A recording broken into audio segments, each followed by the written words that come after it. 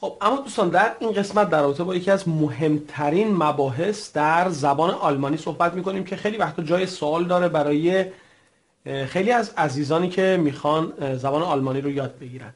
خب این مبحث در واقع مکانها و استفاده از حروف اضافه مرتبط با مکان هست.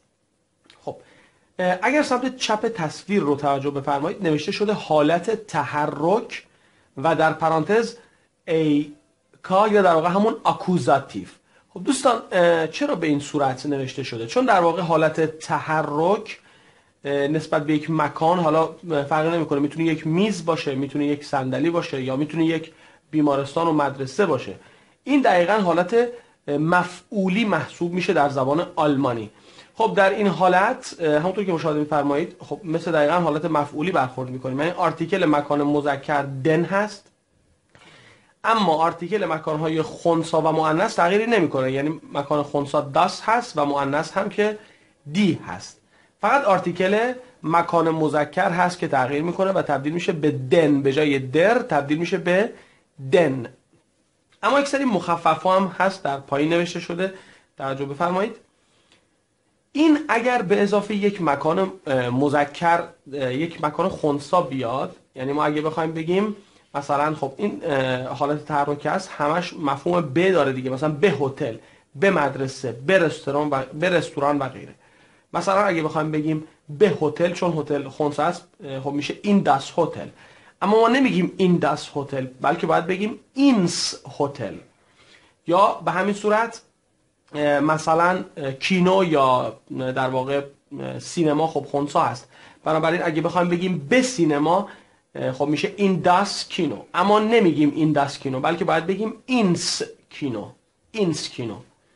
اما حرف اضافه بعد آن هست دوستان. آن هم همون مفهوم دقیقا در یا به جایی رو داره. اما ممکنه بپرسید پس تفاوتش با این چیه؟ دوستان تفاوتی با این نداره. فقط فرقش اینه که برای بعضی مکانها از آن استفاده میشه و برای بعضی مکانهای دیگه از این استفاده میشه. مثلا قبلا هم خدمتتون عرض کرده بودم برای مکانهای مثل ایستگاه مثل مثلا اشترند یا ساحل از حرف در واقع اضافی آن استفاده می‌کنیم که مفهوم همون به داره. و حرف اضافی بعد حرف اوف هست دوستان. اوف به معنی روی هست روی یا بر روی. ببینید ما فرض کنیم می‌خوایم یک کتابی رو بذاریم بر روی میز. خب اینجا تحرک داریم نسبت به میز. پس اون میز میشه مفعول ما. هر چیزی که نسبت بهش تحرک داریم مفعول ما میشه. یا مثلا اگر نسبت به یک تخت خواب مثلا می‌خوایم یک بالش رو یا یک چیزی رو روی تخت خوابمون بذاریم. اینجا تخت خواب مفعول ما میشه.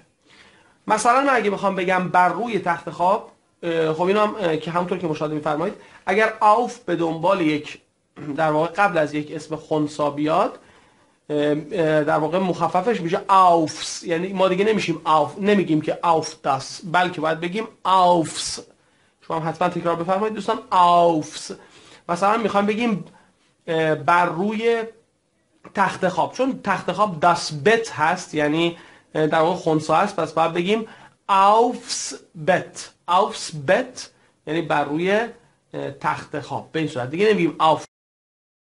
دوستان ویدیویی که دیدید نمونه هست از پکیج کامل ما. شما عزیزان از هر جای دنیا که هستید فرق نمی‌کنه از داخل یا خارج از کشور می‌تونید با ما در تماس باشید دوستان عزیز. و از طریق تلگرام و اینستاگرام که می‌تونید مشاهده کنید در تصویر با ما در تماس باشید. نمونه کارهای ما رو ببینید در پیج های ما و در پیج در اینستاگرام ما یا در تلگرام ما و پکیج کامل ما رو دریافت کنید دوستان. ویژگی اصلی پکیج های ما دوستان سادگی بیان و آموزش مطالب از صفر تا پیشرفته است. و مطمئن باشید دوستان با این پکیج می‌تونید سریعتر و راحتتر از هر کلاسی به هدفتون برسید.